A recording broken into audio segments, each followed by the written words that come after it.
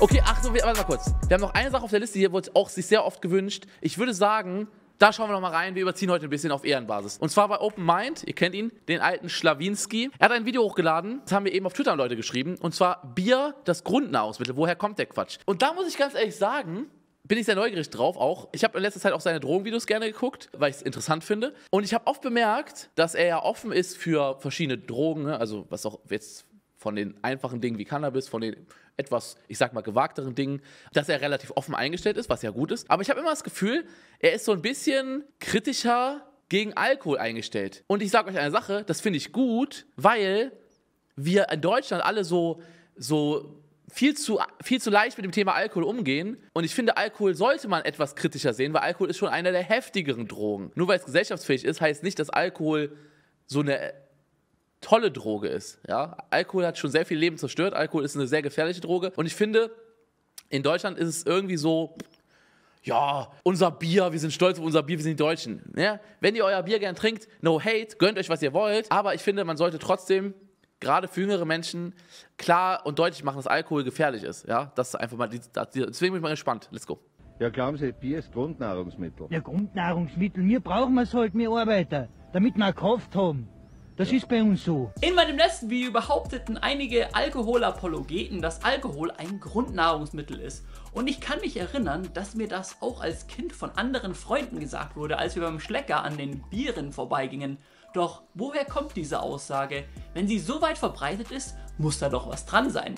Steht es irgendwie im BGB, dass Bier ein Grundnahrungsmittel ist? Wird Bier wie ein Grundnahrungsmittel besteuert? Bevor wir schauen, ob es irgendwo geschrieben steht, dass Bier ein Grundnahrungsmittel ist, schauen wir mal, welchen Wahrheitsgehalt das folgende Statement hat. Wenn du ein halbes Bier trinkst, dann ist es ein Grundnahrungsmittel. Was? Wenn du ein halbes Bier trinkst? Ich, hab- ich verstehe die Frau so schlecht. Das Problem ist, wenn ich in Bayern aufgewachsen wäre, würde ich wahrscheinlich gut verstehen, aber für mich ist dieser Akzent, als ob ich irgendjemand mit einer anderen Sprache zuhören würde. Ich kann es nicht richtig zuordnen. Wenn du ein halbes Bier trinkst, Wenn du ein halbes Bier trinkst, dann ist es ein Grundnahrungsmittel. dann ist es ein Grundnahrungsmittel. Also wenn du ein halbes Bier trinkst, ist es ein Grundnahrungsmittel. Macht gar keinen Sinn. Was ist denn ein halbes Bier? 500 Milliliter oder 100 Milliliter oder ein Liter? Ist ein Bier ein ganzes Bierfass? Ist es ein Maßbier? Ist eine Bierflasche? Ich bin verwirrt. Dann brauchst du den Rest des Tages nichts Ach, mehr. a halbe ist 0,5 Liter. Ah, okay, wir haben hier Experten. Tayo hier, Ibina Boy hier. Tayo hat geschrieben, a halbe sind 0,5 Liter. Ah, ein halbes sind 0,5. Okay, alles klar. Die Bayern unter uns helfen uns hier weiter. Dankeschön, Leute. Kuss geht raus nach Bayern in den Freistaat. Weiter geht's. Schon öfter habe ich gehört, dass Mönche damals zur Fastenzeit Bier getrunken haben, anstatt zu essen. Marken wie Franziskaner bauen ja auch direkt solche Mönche in ihr Marketing ein. Aber ich muss sagen, Mönche sind schon cool. Also die haben schon Swag. Ich sag mal so, das ist kein schlechtes Marketing, weil ein Mönch mit einer Kutte, Digga, ist schon swaggy Dude. Auch wenn Franziskaner nichts mit einem Kloster zu tun hat. Aber es gibt tatsächlich bis heute echte Klosterbrauereien und früher hat man zu Fastenzeiten als Mönch tatsächlich viel Bier getrunken, weil Flüssiges das Fasten nicht bricht. Aber damals wurde das Bier noch anders gebraut. Ah, ja, deswegen trinkt man Bier in der Fastenzeit bei den Christen.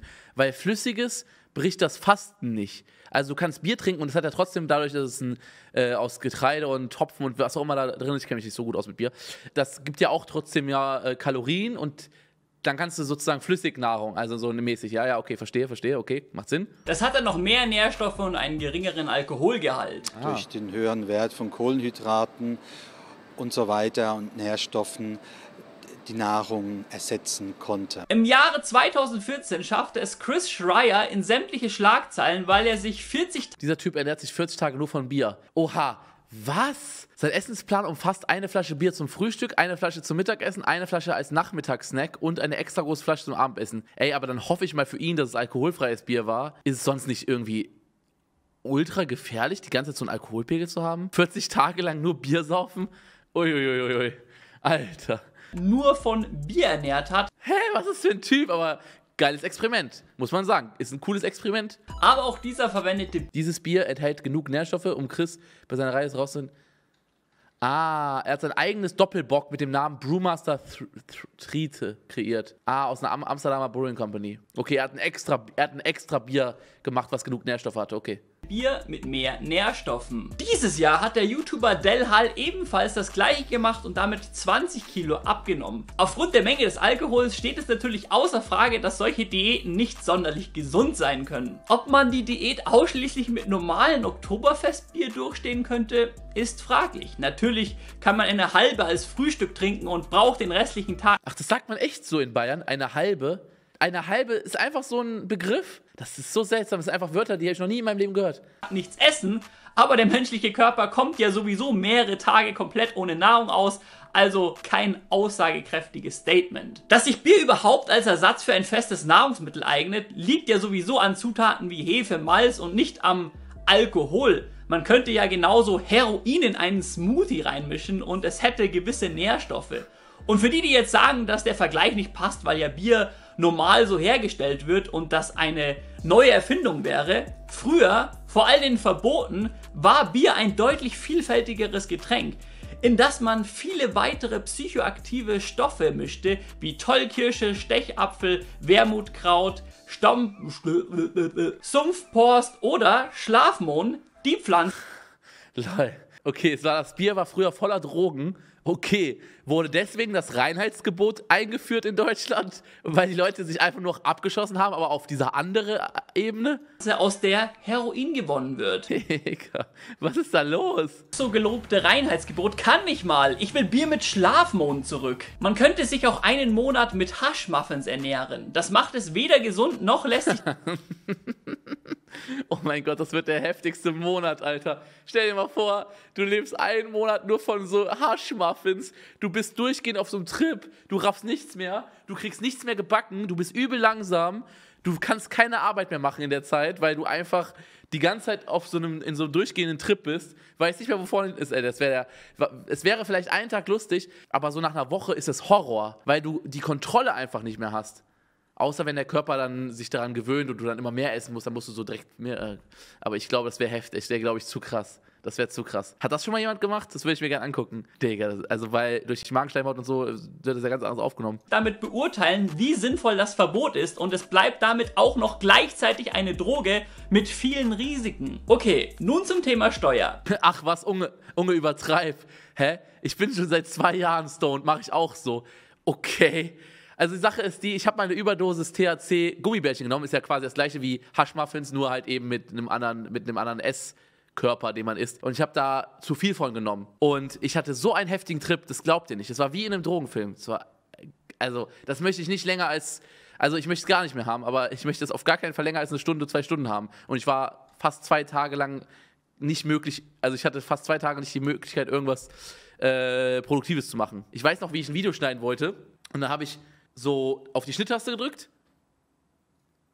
guck so zur Seite, guck wieder hin, drück nochmal auf Shit-Taste und dann ist irgendwie zwei Stunden später gewesen. Also die Zeit ist mir so durch die Hände geflossen. Das war so krass. War auch ein bisschen viel, sag ich mal so. Und nicht wie Obst, Gemüse, Milchprodukte, Fleisch, Fisch mit 7%, weil sie als Grundnahrungsmittel gelten. Zusätzlich gibt es auch noch eine Biersteuer. In dem Gesetzestext, in dem bestimmt wird, dass man gewisse Zusatzstoffe nicht zu Bieren hinzufügen darf, wenn man sie mit dem Spruch gebraut nach deutschem Reinheitsgebot vermarkten will, wird Bier immerhin als Nahrungsmittel bezeichnet. Bei der Recherche zu dem Thema stieß ich auf so viele Artikel, bei denen Bier als Grundnahrungsmittel deklariert wurde, ohne dass eine Erklärung dafür geliefert wird. Folgende Erklärung wurde mir oft von euch zugesendet. Vor circa 500 Jahren waren die Hygienebedingungen so ungünstig, dass normales Trinkwasser voll mit Keimen war und es daher unter anderem wegen dem antibakteriellen Effekt des Alkohols sicherer war, Bier zu trinken. Was? Leute haben anstatt Wasser Bier getrunken. Ist nicht so, dass Alkohol dem Körper Flüssigkeit entzieht und dass man deswegen auch zu Alkohol noch Wasser trinken soll, damit man nicht so einen krassen Kater und so hat? Digga, was ist da los? Da wir heute sauberes Wasser haben, ist Bier heute nicht mehr so essentiell, um das als Erklärung dafür verwenden zu können, dass es heute ein Grundnahrungsmittel ist. Wenn man Grundnahrungsmittel offizielle Liste googelt, wird Bier explizit als Grundnahrungsmittel ausgeschlossen und ich denke, dass es spätestens Okay, also Bier ist kein offizielles Grundnahrungsmittel. Das sagen nur Leute gerne. Okay, Bier ist kein offizielles Grundnahrungsmittel. damit offiziell ist, dass Bier kein Grundnahrungsmittel ist. Grundnahrungsmittel sind ja Nahrungsmittel, die in dem jeweiligen Kulturkreis den Hauptbestandteil der Nahrung ausmachen. Dass das Kulturelle da so relevant bei der Definition ist, wusste ich vorher gar nicht. Ich frage mich, was da so die Schwellen sind. Wie viele Leute müssen jeden Abend wieder Bier statt Wasser trinken, dass es wie damals als Grundnahrungsmittel durchgeht? Wie viele Leute müssen Veganer werden, dass das Gift Milch kein Grundnahrungsmittel mehr ist? I see what you did there. Ansonsten abonniert diesen Kabal oder wenn ihr ein besonders krasses Open Mind 3000 habt, werdet doch Kabal-Mitglied, denn diese Funktion ist seit kurzem bei mir auf meinem Kabal freigeschaltet.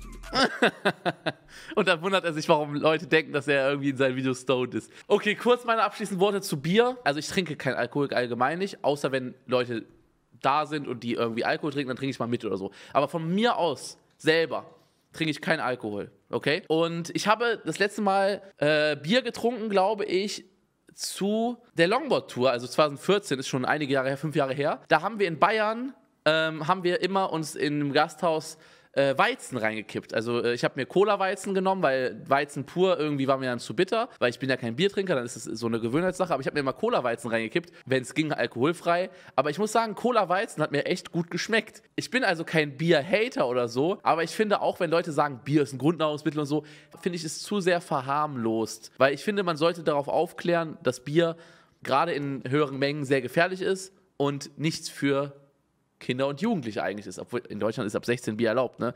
Was ich schon, ich sag mal, okay, 16, da muss jeder selber wissen, was er tut, aber I don't know. Ich finde es, also ich finde Alkohol ist, sollte man nicht unterschätzen, ja? Alkohol sollte man nicht unterschätzen. Alkohol ist heftig. Unterschätzt es lieber nicht, okay? War ein interessantes Video, aber Kuss geht raus.